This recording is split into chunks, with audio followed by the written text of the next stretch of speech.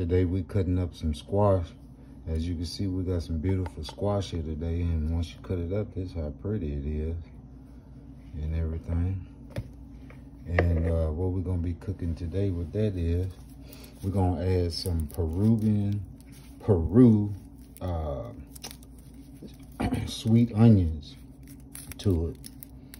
And uh, we're gonna cook some rock Cornish hen is what we're cooking today.